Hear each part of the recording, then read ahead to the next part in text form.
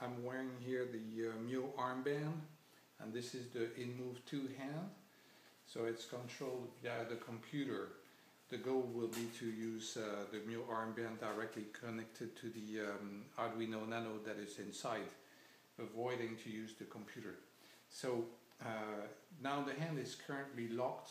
So if I unlock it with the movement like this, I can open the fingers there is on the script a bit of latency. So by doing this movement I can shut them off. I can change position.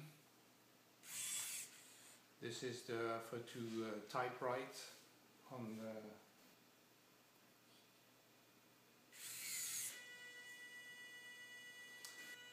You can see the latency.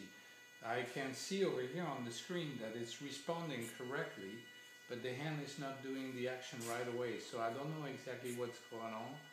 I need to still fix that.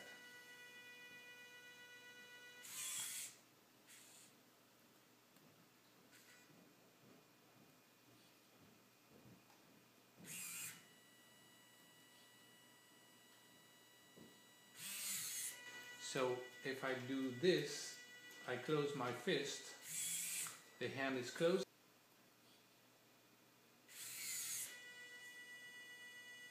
well that's it for now. It's I'm very happy I've been able to write a script for this uh, this new hand and uh, control with the armband still fixing some bugs and uh, it should be fine. I think we should be able to have like um, five or six different uh, movements with the hand. Very nice